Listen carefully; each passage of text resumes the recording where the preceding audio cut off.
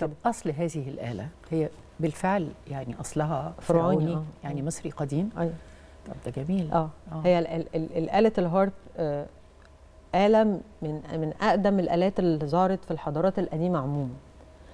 يعني هي موجودة في حضارة عندنا في الفراعنة وموجودة في في بين في في العراق.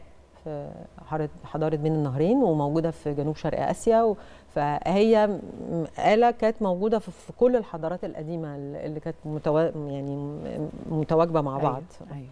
فلا الآلة طب- طبعا وهو موجود يعني موجود في المتاحف المتحف المصري موجود في متحف الحضارة, الحضارة مو- موجود على جدران المعابد في كذا جدارية موجود. فيها آلة الهارب وطبعا بأشكال مختلفة لأنه كمان ال ال عشان الحضارة المصرية القديمة كانت حضارة ممتدة وفيها كذا حقبة فكل حقبة شكل الهارب بيتغير الفرق ال- السيمفونية عادة بنجد فيها ال- الهارب آه. لكن الفرق الموسيقى العربية نادرا ما نجد فيها.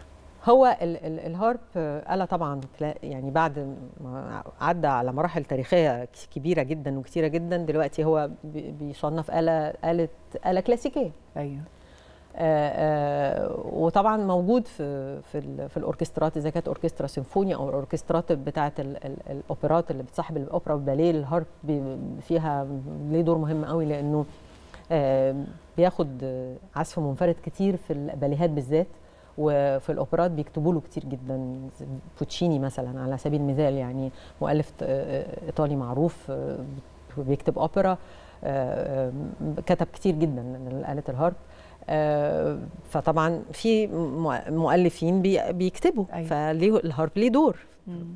في في في في الفرق ال- الموسيقى العربية اللي هي في الغالب بتصاحب المغنيين أيوه لو حد كتب هيجيبوه حد يعزف. فهي ما هي ليها علاقة بالتوزيع. لو حد كتب لل- لل- للهارب إذا. كان في حد هيوزع مثلا لأنه في الآخر ال- ال- الغنى العربي line واحد يعني.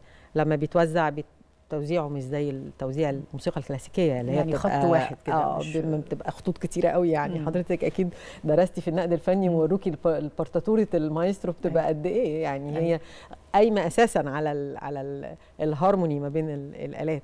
لكن الموسيقى العربية ال- ال melody أو اللحن هو ال- ال- اللي الغالب. بيبقى اللي بيبقى الغالب اللي بي- اللي بيبقى إحنا مم. ثقافتنا ثقافة غنائية أكتر. أيوه. يعني إحنا مش متعودين نسمع موسيقى بحتة.